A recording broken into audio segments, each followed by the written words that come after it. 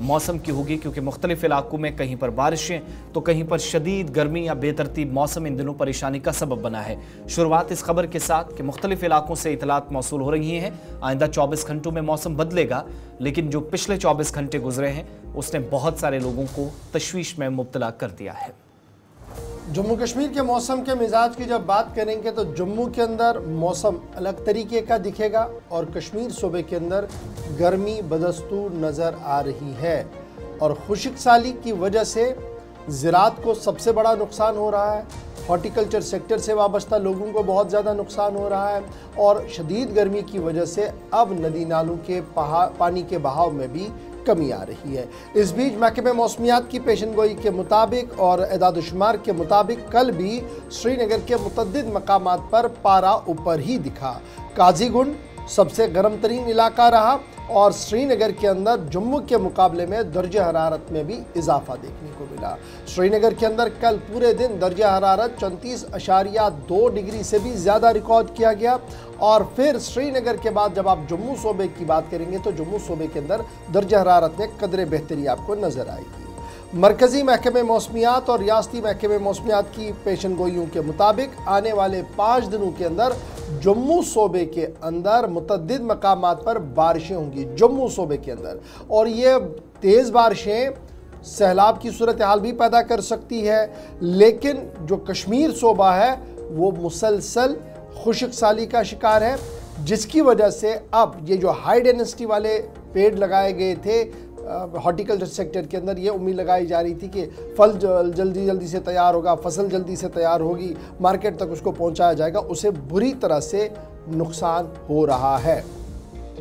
और यह मुसलसल बारिशें कम होना आने वाले दिनों के लिए मज़ीद परेशानियाँ बन सकती है। श्रीनगर के अंदर मैंने पहले ही कहा कि दर्जा हरारत चौंतीस या दो डिग्री तक चला गया था। जो जो रूटीन का दर्जा हरारत है, उससे चार अशारिया दो डिग्री ज़्यादा है। इसी तरीके से कोकरनाग के, के अंदर जहाँ पर आ, माना जाता था कि मौसम बहुत ज़्यादा बेहतर रहता है वहाँ पर भी इकतीस अशारिया नौ डिग्री रिकॉर्ड पर कल पूरे दिन किया गया और दर्ज हरारत नॉर्मल चार अशारिया चार डिग्री ज़्यादा रिकॉर्ड किया गया।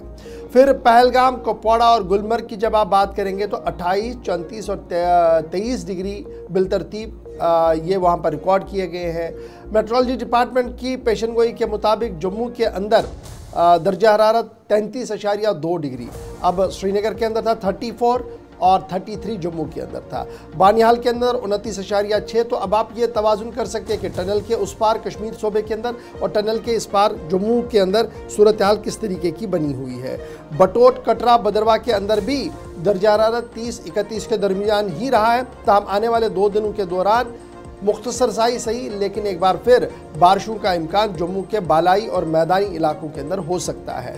15 अगस्त को जम्मू सूबे के अंदर एक बार फिर पुरजोर बारिश हो सकती है सुबह सुबह, और जब ये खबर आई है कि 15 अगस्त को होगा तो फिर उस दिन तकरीब भी होनी है तो वो भी थोड़ी सी दरम बरम हो सकती है।